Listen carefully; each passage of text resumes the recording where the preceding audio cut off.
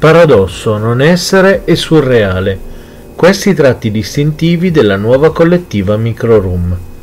Le immagini presentate dagli artisti dialogano attraverso la mancanza, dalla mancanza di logica all'assenza del protagonista, al surreale, che può essere cromatico o semantico.